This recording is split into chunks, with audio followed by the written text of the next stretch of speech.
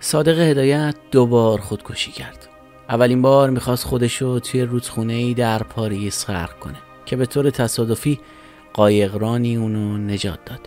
بار دوم اما موفق شد با استنشاق گاز آشپزخونه آپارتمان کوچکی در پاریس به زندگی خودش پایان بده. ولی چرا؟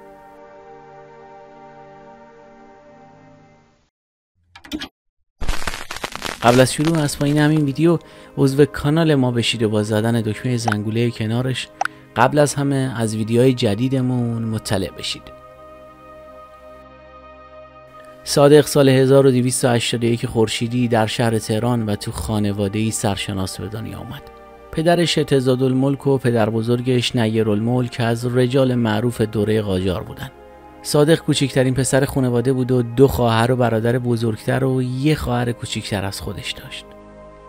برادرش محمود خان قاضی دیوان عالی کشور بود که در زمان نخست وزیری سپهبد رزمارا معاون نخست وزیر شد و برادر دیگه عیسی خان رئیس دانشگاه جنگ بود و هر دو برادرش دستی در هنر و ادبیات هم داشتند. سپهبد علی رزمارا هم شوهر خواهر صادق هدایت بود. صادق تحصیلات ابتداییش رو تو مدرسه علمیه تهران شروع کرد و تو همین دوران روزنامه دیواری ندای انباز رو تو مدرسه منتشر کرد. دوره دبیرستان به مدرسه دارالفنون رفت ولی 14 ساله بود که به خاطر بیماری چشم درد مدرسه رو به اجبار ترک کرد و یک سال بعد تو مدرسه سنلوی که مدرسه ای فرانسوی بود دوباره مشغول به درس خوندن شد. خودش گفته که اولین آشناییش با ادبیات جهانی توی همین مدرسه بوده. اون توی سنلویی به کشیش مدرسه فارسی درس می‌داد و کشیش هم در مقابل اونو با ادبیات جهانی آشنا می‌کرد. در سال 1296 صادق اولین مقاله خودش رو توی یه روزنامه هفتگی به مدیریت نصرالله فلسفی به چاپ رسوند و شروع نویسندگی صادق رو میشه از همینجا دونست.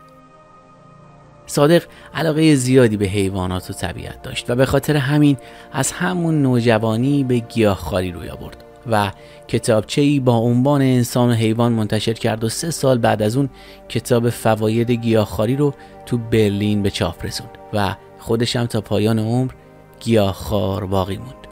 اون معتقد بود اگه انسان بخواد دست از جنگ برداره اول باید دست از کشتن و خوردن حیوانات برداره. بعد از تموم شدن درسش تو مدرسه سنلویی سال 1305 بود که با اولین گروه دانشجویان اعزامی به اروپا راهی بلژیک شد و تحصیلاتش رو تو رشته ریاضی محض شروع کرد. ولی از وضع تحصیل و رشتهش تو بلژیک راضی نبود و دوستاش به فرانسه بره و در نهایت بعد از تغییر رشته و دوندگی زیاد به پاریس نقل مکان کرد. و همون ایام بود که چندین کتاب و مقاله هم به چاپ رسوند. صادق سال 1307 خودش رو به داخل رودخانه مان توی پاریس انداخت و کمک قایقرانی که در اون محل بود باعث شد که از مرگ نجات پیدا کنه. نزدیکانش گفتن که اون این کار رو به خاطر مسائل عاطفی انجام داده ولی خودش به برادرش محمود نوشته که دیوانگی کردم که به خیر گذشت. خودکشی نافرجام صادق باعث خلق آثاری مثل پروین دختر ساسان زنده به گور و مادلن شد. بعد از این اتفاق صادق تحصیلاتش رو نیمه کاره رها کرد و به تهران برگشت و در بانک ملی مشغول به کار شد. صادق تو همین ایام با مسعود فرزاد بزرگ علوی و مشتبا مینوی آشنا شد و حلقه دوستی ربع رو تشکیل دادن. گفتگو و دیدارهای گروه ربع تو رستوران ها و کافه های تهران بود. مثل کافه قنادی روز سیاه تو خیابون لالزار نو که در حدود سال 1310 پاتوق صادق هدایت و دوستانش بود بعدها افراد دیگه ای مثل پرویز ناتل خانلری عبدالحسین نوشین غلام حسین مینباشیان و نیمایوشیچ هم به گروه رب اضافه شدن و آثار زیادی با همکاری همدیگه منتشر کردند. پربارترین دوران فعالیت صادق تو سالهای 1310 تا 1314 بود. اون چندین کتاب نوشت و انتشار کتابی به اسم وقوق که کتابی تنزگونه و سیاسی بود باعث شد که از طرف وزیر ممنوع قلم بشه. صادق هدایت اولین نویسنده بود که اسیر تیغ سانسور شد. بعد از ممنوع کار شدن صادق مدتی از کشور خارج شد.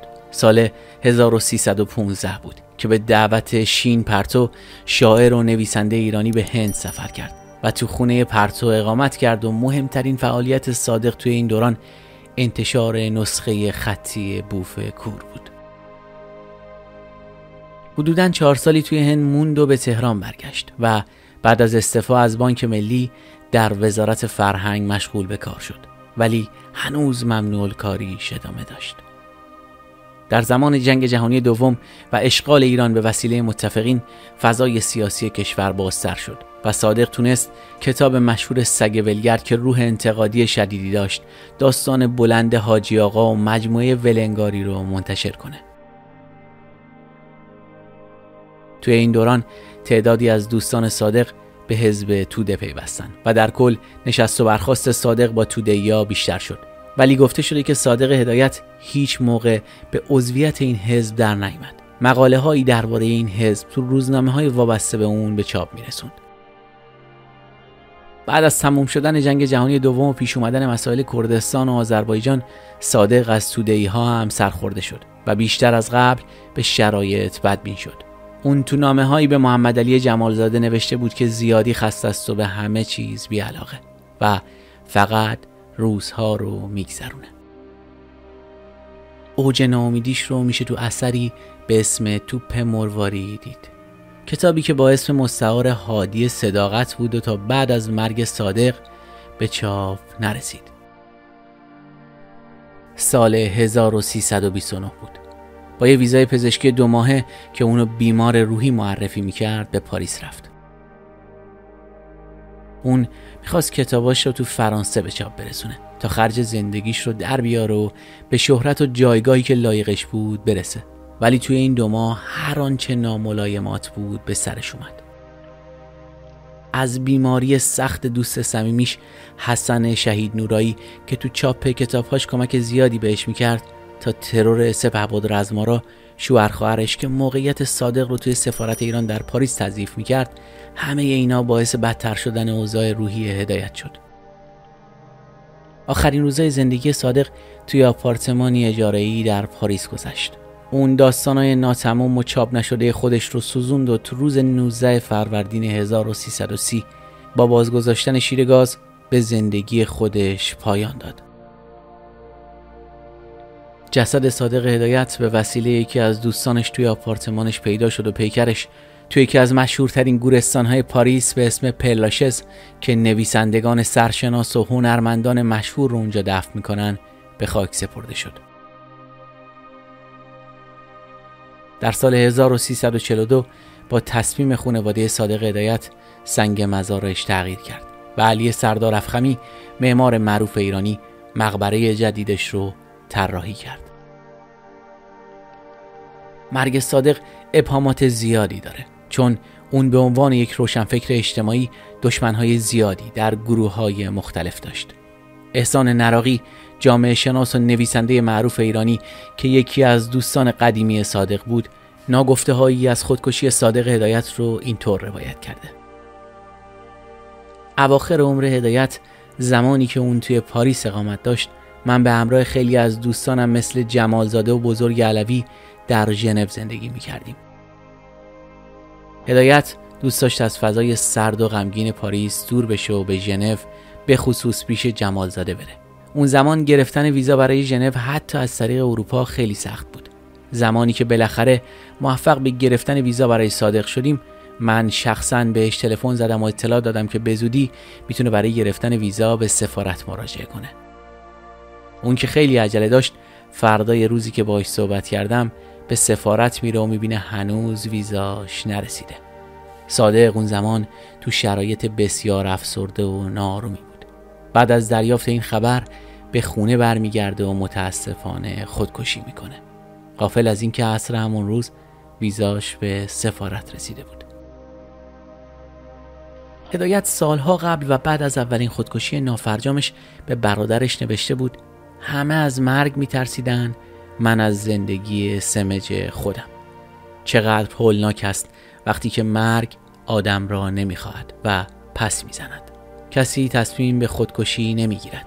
خودکشی با بعضی ها هست. در خمیره و سرشت آنهاست. نمی‌توانند از دستش بگریزند. ولی این بار مرگ هدایت رو پس نزد و شیر گاز خونه شماره 37 خیابون شامپیونه به زندگی صادق هدایت پایان داد. صادق هدایت در طول عمر 49 ساله خود هیچ ازدواج رسمی نداشت ولی طبق گفته دوستانش چندین رابطه عاشقانه و عاطفی رو توی ایران و فرانسه تجربه کرده بود. مرسی از اینکه تا این لحظه همراه ما بودید. لطفا نظراتتون رو پایین همین صفحه با ما به اشتراک بگذارید. راستی اگه هنوز عضو کانال ما نشدید خوشحال میشیم با عضویتتون از ما و فعالیت هامون حمایت کنید.